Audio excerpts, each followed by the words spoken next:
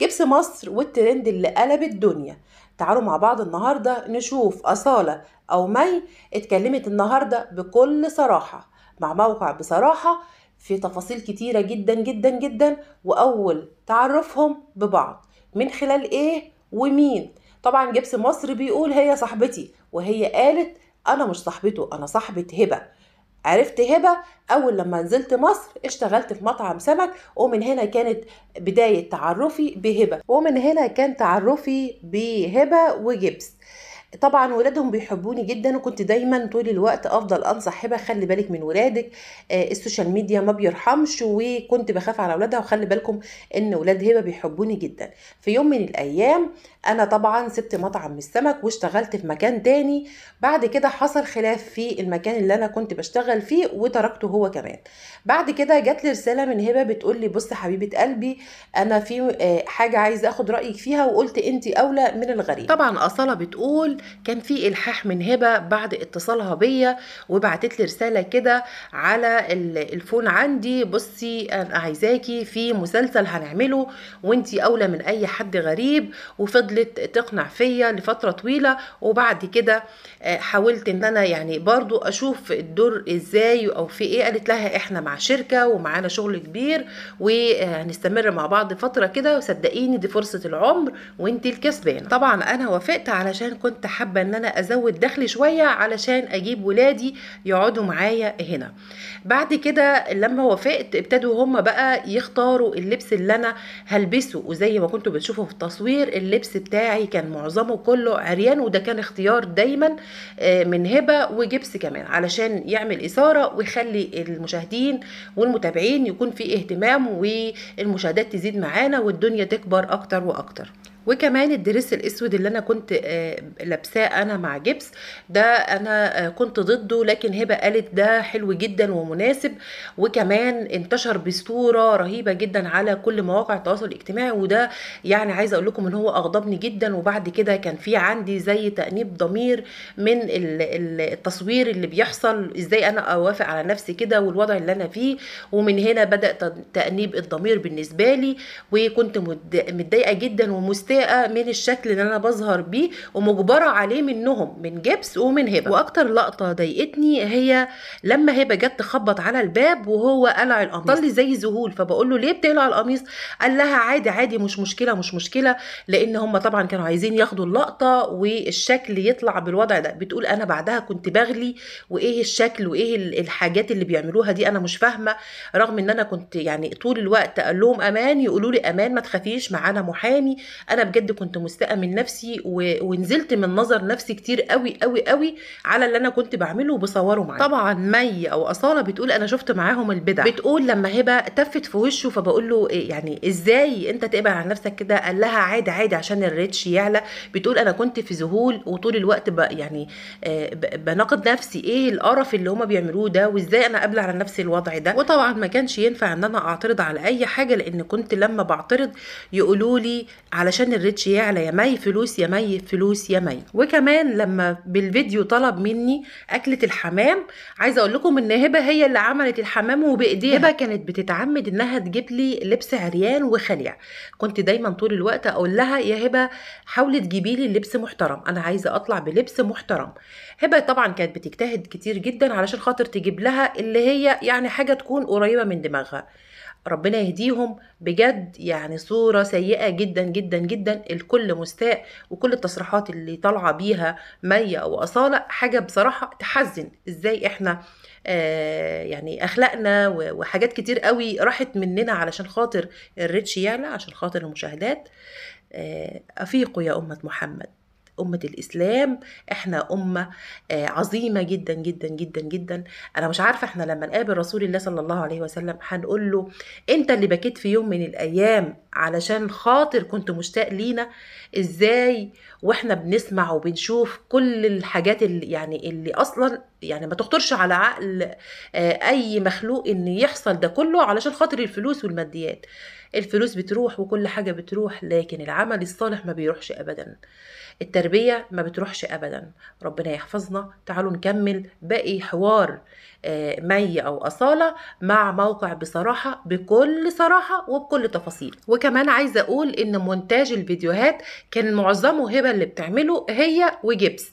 عايزة أقول لكم وبجد أنا بعترف في كل المواقع إن أنا غلطت وطول الوقت بتكلم مع ربنا وعندي تأنيب ضمير من اللي أنا عملته لأن أنا يا جماعة أنا بنت ناس وأنا لو عايزة أعمل حاجة تغضب ربنا كنت عملتها وأنا ببلدي ومحدش شايفني ولا حد عالم عني أي حاجة لكن أنا نزلت مصر بحب مصر وبحب ناسها وبحب إن أنا أجيب آه لقمة عيشي بعرق جبيني. بالعامية كده زي ما إحنا بنقولها آه بالمصري أصالة بتقول أنا كنت غبية علشان قبلت على نفسي إن حد يمشيني وده أكتر حاجة هفضل أندم عليها عمري كله. بالنسبة بقى لموضوع الأحضان اللي كان بيتم في خلال الفيديوهات أنا لما كان بيحضني كان جسمي بيقشعر كنت بكون خايفة هي كانت دايما طول الوقت بتطمني وتقول لي احضني عادي كأنه أخوك الكبير وأنا موجودة معاكم مفيش أي مشكلة ده كله تمثيل يا مي ما تقلقيش وما تخافيش. كانت هي دايما معانا في كل تفاصيل وكانت دايما بتحاول تطمني علشان التمثيلية والفيلم العظيم اللي هما بيعملوه يكمل على خير. لكن بجد اللي وقفني وخلاني أطلع بكل التفاصيل دي عتابي النفسي وخوفي من ربنا وندمي الشديد جدا جدا على الغلط اللي أنا عملته. الاعتراف بالحق فضيلة يا جماعة. لما تعترف إن أنت غلطت في شيء وإن أنت آه، ندمان وبتعاقب نفسك أمام ربنا وبعد كده بتتكلم كمان قدام الناس ده أكبر شيء تقدر تعاقب نفسك بيه وكمان ربنا يغفر لك ويسامحك عنه إن شاء الله. ربنا يا رب يهديها ويهدينا ونسمع أخبار خير عن العالم كله عشان خلاص بجد نفسيتنا استاءت جدا جدا جدا من كل الناس اللي منتشرة انتشار رهيب وبتنشر لنا طاقات سلبية وبتنشر لنا وبتصدر لينا ولأولادنا طول الوقت أشياء بصراحة مقززة مقززة مقززة. ربنا يا رب احفظنا من الفتن ما ظهر منها وما بطن. اللهم آمين يا رب العالمين. تعالوا نكمل موضوع أصالة. وجبس مصر وهبة. أنا كل صحابي زعلوا مني. عايزة أقول لكم إن صحابي في السعودية تقريبا شبه إن هم اتشلوا من المناظر اللي أنا كنت بعملها وإزاي قبل على نفسك كده وكله كان بيهاجمني سواء كان صحابي هنا بقى وجيراني واللي كانوا كمان في السعودية والأردن وكل أصدقائي كانوا زعلانين جدا جدا جدا ومستائين من اللي أنا بعمله والتمثيلية السخيفة اللي حصلت. بجد أنا ندمانة كل الندم وهفضل طول عمري ندمانة على المسلسل السخيف اللي أنا عملته مع هبة وجبس وإن شاء الله يكون ذنبي عليهم هم علشان هم اللي استدرجوني لحاجة زي كده. طبعا بدافع المال وأغروني بالمال علشان خاطر أجيب ولادي. ربنا يسامحني على اللي صدر مني. بتقول أكتر حاجة طلعتني عن صمتي وسكوتي وس- وتحملي الفترة دي كلها آه، تحكم جبس فيا. لو أنا قاعدة معاه في عربية أو جالي فون أو أي حاجة أقفل التليفون ويشخط فيا طول الوقت وزعيق علشان خاطر المصلحة بتاعتهم تتم على خير. أنا بجد كنت قرفانة جدا من نفسي وزعلانة وحزينة. إزاي أنا أقبل على نفسي إن حد يتحكم فيا بالشكل ده؟ دي أكتر حاجة شجعتني إن أنا أوقف ال- المسلسل السخيف اللي هم شغالين فيه. طبعا يا جماعة الله شاهد على كل كلمة وحرف بقوله. ده نيابة عن لسان مي في الفيديو اللي قالته في مو من خلال موقع. بصراحة حبينا إن إحنا نتكلم برضو بصراحة وتفاصيل أكتر من خلال آه، ال- كل التفاصيل اللي قالتها مي علشان خاطر نظهر للناس دي قد إيه مثال سيء جدا جدا في مجتمعنا الحالي. إحنا محتاجين تغيير جذري للمجتمع الحالي وخاصة مجتمعنا المصري أصبح في مستنقع. لازم نتخلص منه تعالوا نكمل نشوف مي قالت إيه. واللي خلاني كمان جبت آخر لما شتمتني هبة. ما قبلتش على نفسي خالص شتيمة هبة ليا واستفزازها ليا وإهانة هبة وجبس ليا. هو طبعا كان تقريبا كده يعني عاش الدور وكتب الكذبة وبدأ يصدقها عايز يتحكم فيا مين بيتصل بيكي بتتكلمي مع مين؟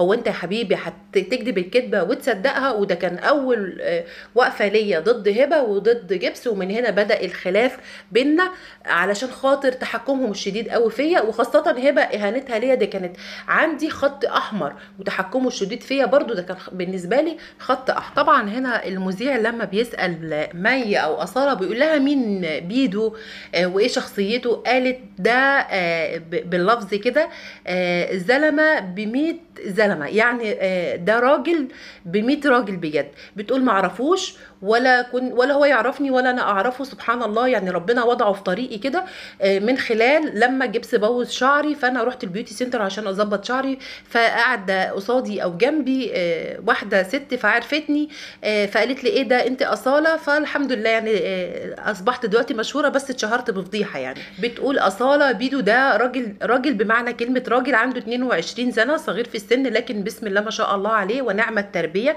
راجل بمعنى الكلمة. تعالوا مع بعض نشوف باقي التفاصيل اللي حكيتها أصالة عن بيدو. بتقول أنا أول مرة شفت بيدو كان بيحاول يوقع ترند الجبس لكن جبس كان بيوقف له ال- ال- المواضيع ويقفل معاه الفيديوهات. بيدو كان أول حد يعني اكتشف إن دي كذبة ولعبة من جبس وكان بيحاول يوقع الترند بتاعه فعشان كده لجأت له أصالة. بيدو بيقول لأن أنا أكتر حد عارف شخصية آه، جبس مصر وعارف إن هو هيستنقص معاها وهياكل عليها حقها والمناظر اللي كنت بشوفها بصراحة كنت حاسس إن هي مضحوك عليها وحاسس وعندي شعور إنها هتحاول تدور عليا وهتجيب لي وده اللي حصل بالفعل. وصلت لي وأنا وقفت معاها وهفضل واقف معاها لحد ما أجيب لها حقها من الأكذوبة والتمثيلية اللي مثلوها عليها وضحكوا عليها فيها لأن الست دي ست محترمة وما تستاهلش ابدا اللي اتعمل معاها والنصبايا اللي عملتها عليها هبة وجبس مصر. بيدو بيقول في أول فيديو صورته لأصالة أو لمي وهي بتتكلم مع آه، أم سليم كنت متعمد عدم الظهور علشان ما يفكروش أو يحاولوا يقنعوا الناس إن دي كانت لعبة واتفاق وإن إحنا اللي قلبنا ويدخلوا الموضوع برضو بطريقتهم والأكاذيب بتاعتهم. فعشان كده كنت متعمد في بداية الظهور إن أنا أكون